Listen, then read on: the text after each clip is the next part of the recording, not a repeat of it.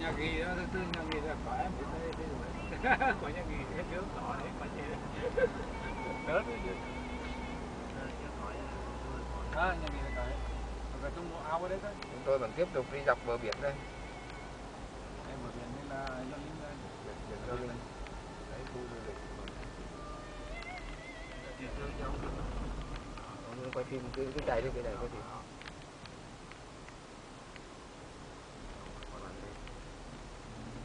cuộc sống Đây sung là túc thị trấn do linh này thị trấn cửa Việt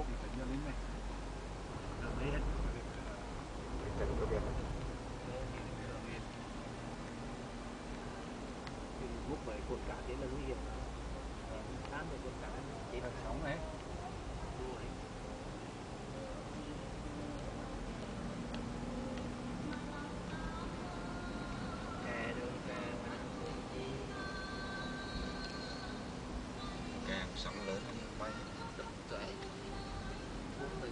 Thế là cả cái chuyến này hết Ừ. gió chấm gió vừa chấm gió vừa mưa chưa vừa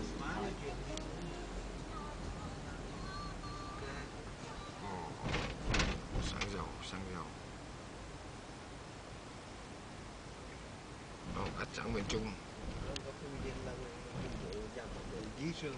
Năm à, năm vừa rồi có cái làm thêm cái câu nữa nó vẫn đi vào quê tiêu đồ tiêu đồ tiêu thuần tiêu đồ hay cũng được đấy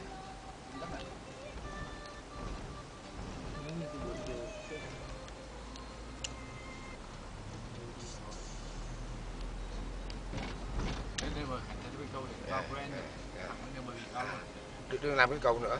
Ờ, có rồi làm rồi. Thành năm ngoái à, năm rồi. À xong rồi à? xong rồi. Đi vào quê đường này. À, chẳng phải là anh phải chờ lên đường À. ra câu như câu à bây giờ là đồng bào quê tôi đỡ rồi. em cho vô vô nước cạn mà mình chờ mình chụp qua là đẹp hơn là đi đến câu ừ, nước cạn á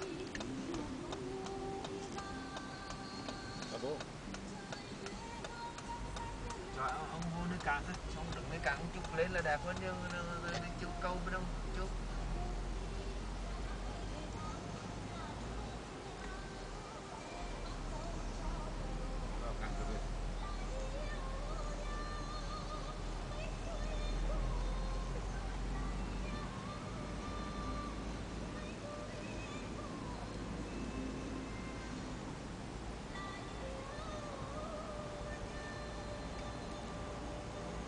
chúng tôi từ từ tiến vào cảng cửa Việt đây.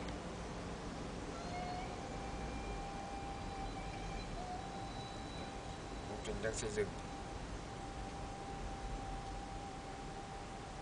Các bạn thấy cảng ạ? cảng, cảng vô- cửa Việt và đây là cái cầu về quê tôi mà anh Quang. à đúng rồi.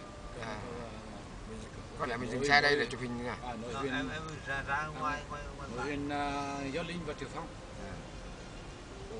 Quá tuyệt ước mơ của đồng bào mình đây. Ông già tôi là cứ mơ ước có cái cầu về quê. Từ Linh qua sông vào Phong cả câu này.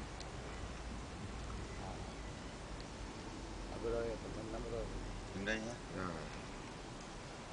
Ừ, thì vòng vòng qua bên đầu chụp thôi chứ bên đi khỏi chứ